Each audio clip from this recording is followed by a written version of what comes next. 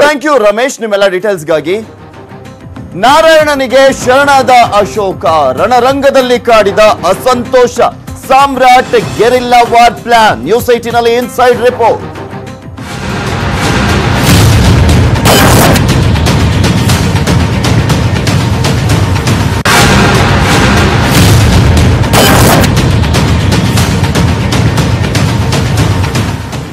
ಬೆಂಗಳೂರಿನ ಸಾಮ್ರಾಟ್ ಅಂತಾನೆ ಕರೆಸ್ಕೊಳ್ತಾರೆ ಬಿಜೆಪಿ ಪಾಳ್ಯದಲ್ಲಿ ಆರ್ ಅಶೋಕ್ ಅವರು. ಸಾಮ್ರಾಟ್ ಅಶೋಕಿಗೆ ಈಗ ಹೈಕಮಾಂಡ್ ಬಿಗ್ ಶಾಕ್ ಅನ್ನ ನೀಡಿರುವಂತದ್ದು ಅಶೋಕ್ ಬದಲಿಗೆ ಅಶ್ವಥ್ ನಾರಾಯಣ ಅವರಿಗೆ ಮಣಿಯನ್ನ ಹಾಕಲಾಗಿರುವಂತದ್ದು ಅಶೋಕ್ ಅವರನ್ನ ಕೊತ ಕೊತ ಅಂತ ಕುದಿಯುವಂತೆ ಮಾಡಿದೆ ಒಳಗೊಳಗೆ ಕುದಿತಾ ಇದ್ದಾರೆ ಆರ್ ಅಶೋಕ್ ಅವರು. ಆಬ್ವಿಯಸ್ಲಿ ಏಕೆಂದ್ರೆ ಮೂರು ಬಾರಿ ಗೆದ್ದಿರುವಂತ ನಾಯಕನಿಗೆ ಇಲ್ಲಿ ಉಪಮುಖ್ಯಮಂತ್ರಿ ಸ್ಥಾನ ಕೊಟ್ಟಿರುವಂತದ್ದು ಮೊದಲ ಬಾರಿಗೆ ಸಚಿವ ಸ್ಥಾನ ಕೊಟ್ಟಂತ ಸಂದರ್ಭದಲ್ಲಿ ಅತೃಪ್ತಿ ಇತ್ತು.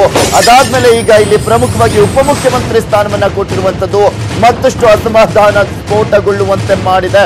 ಹಿಂದೆ ಡಿಸಿಎಂ ಗೃಹ ಇಲಾಖೆನೂ ಕೂಡ ನಿಭಾಯಿಸಿದ್ರು. ಆರ್ ಅಶೋಕ್ ಅವರು, ಆದ್ರೆ ಈ ಬಾರಿ ಡಿಸಿಎಂ ಸ್ಥಾನನೂ ಇಲ್ಲ. ಗೃಹ ಖಾತೆನೂ ಇಲ್ಲ. ಎರಡು ಪ್ರಮುಖ ಅಂದ್ರೆ ಇಲ್ಲಿ ಸ್ಥಾನಗಳು ಮಿಸ್ ಆಗಿರುವಂತದ್ದು ಪ್ರಭಾವಿ ಕಂದಾಯ ಖಾತೆಯನ್ನ ನೀಡಿದ್ರು ಕೂಡ ಅಸಮಾಧಾನ ಮಾತ್ರ ಆರ್ ಅಶೋಕ್ ಅವರಿಗೆ ಇದೆ. ಆರ್ ಅಶೋಕ್ ಅವರ ಸೈಡ್ ಲೈನ್ಗೆ ಕಾರಣವಾದ್ರು ಏನು? ಅಶೋಕ್ ಹೈಕಮಾಂಡ್ ಕೆಂಗಣ್ಣಿಗೆ ಗುರಿಯಾಗಿದ್ದಾದ್ರು ಯಾಕೆ ಅನ್ನುವ ಪ್ರಶ್ನೆ ಈಗ ಸಹಜವಾಗಿ ತೇಳ್ತಾ ಇದೆ. ದಿಢೀರಂತ ಅಶ್ವಥ್ ನಾರಾಯಣ ಅವರಿಗೆ ಮಣೆ ಹಾಕಿದ್ದಾದ್ರೂ ಯಾಕೆ ಹೈಕಮಾಂಡ್? ಇದೆಲ್ಲ ಪ್ರಶ್ನೆಗಳಿಗೂ ಕೂಡ ನ್ಯೂಸ್ ಐಟಿ ನಿಮ್ಮ ಮುಂದೆ ಉತ್ತರವನ್ನ ಇಡುತ್ತೆ.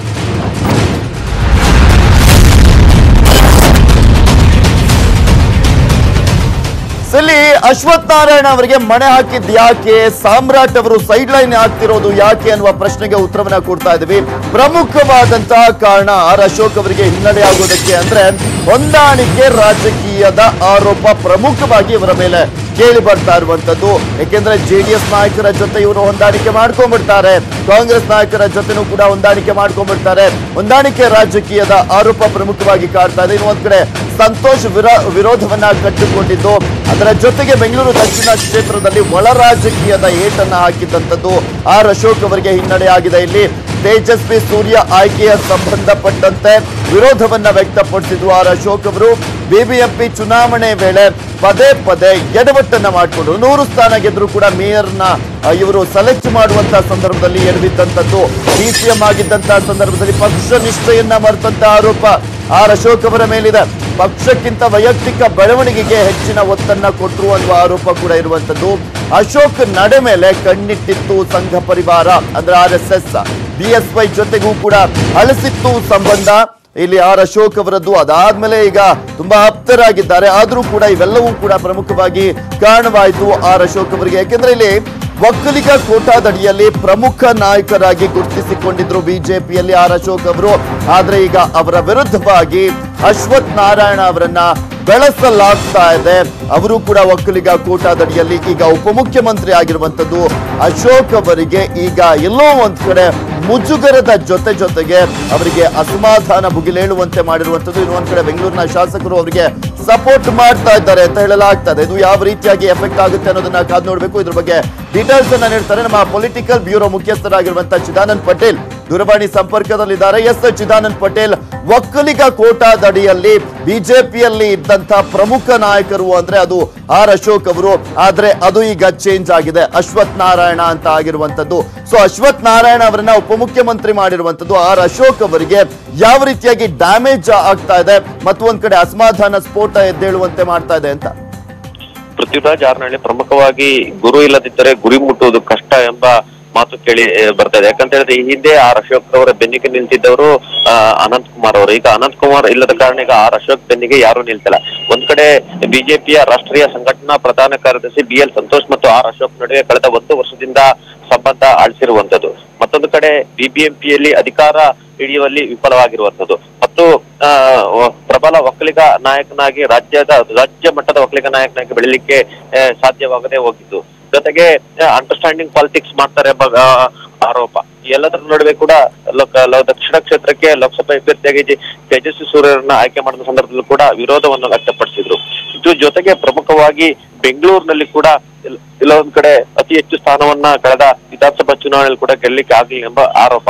ಈ ಎಲ್ಲ ಆರೋಪದ ನಡುವೆಯೇ ಆ, ಇನ್ನೋರ್ವ ಪರ್ಯಾಯವಾಗಿ ಬೆಂಗಳೂರಿನಲ್ಲಿ ಮತ್ತು ರಾಜ್ಯದಲ್ಲಿ ಒಕ್ಕಲಿಗ ನಾಯಕನನ್ನ ಬೆಳೆಸಬೇಕೆಂಬ ಹಿನ್ನೆಲೆಯಲ್ಲಿ ಬಿ ಎಲ್ ಸಂತೋಷ್ ಮತ್ತು ಬಿಜೆಪಿ ಹೈಕಮಾಂಡ್ ತೀರ್ಮಾನ ಮಾಡಿತು ಆ ಮುಖಾಂತರ ಅಶೋಕ್ ರವರ ವೇಗಕ್ಕೆ ಕಡಿವಾಣ ಹಾಕಲು ಡಾಕ್ಟರ್ ಅಶ್ವಥ್ ನಾರಾಯಣ್ ಅವರಿಗೆ ಡಿಸಿಎಂ ಹುದ್ದೆಯನ್ನು ಕೊಡಲಾಯಿತು.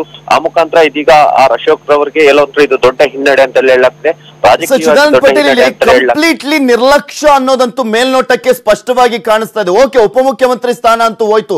ಅಟ್ಲೀಸ್ಟ್ ಇವರನ್ನ ಸಮಾಧಾನ ಪಡಿಸೋದಕ್ಕೆ ಬೆಂಗಳೂರು ನಗರಾಭಿವೃದ್ಧಿನೋ ಅಥವಾ ಈ ಹಿಂದೆ ಅವರು ನಿರ್ವಹಿಸಿದಂತ ಗೃಹ ಖಾತೆನೋ ಕೊಡ್ತಾರೆ ಅನ್ಕೊಂಡ್ರೆ ಅದು ಕೂಡ ಇಲ್ಲ. ಸೊ ಆರ್ ಅಶೋಕ್ ಅವರೇ ನೀವು ನಾವು ಕೊಡುವಂತ ಜವಾಬ್ದಾರಿಯನ್ನ ನಿರ್ವಹಿಸಬೇಕಷ್ಟೇ. ನೀವು ಕೇಳಿದ್ದನ್ನೆಲ್ಲ ಕೊಡೋದಕ್ಕೆ ಆಗೋದಿಲ್ಲ ನೀವೊಬ್ಬರೇ ಅಲ್ಲ ಅನ್ನೋ ಮೆಸೇಜ್ ಸ್ಪಷ್ಟವಾಗಿದೆ ಅಲ್ವಾ?